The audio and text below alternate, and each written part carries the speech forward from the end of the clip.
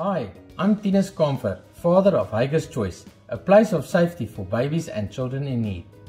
At Hagar's Choice, we aim to provide a warm, secure environment for children from hard places.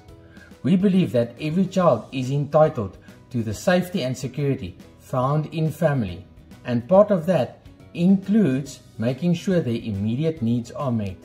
This is why we are so fortunate to be a beneficiary of Distance for Difference. We love how they turn sporting events into life-changing support. Your generosity to D4D enables us to transform lives. So we invite you to join us in this mission to transform lives one step, one distance, one donation at a time. Thank you.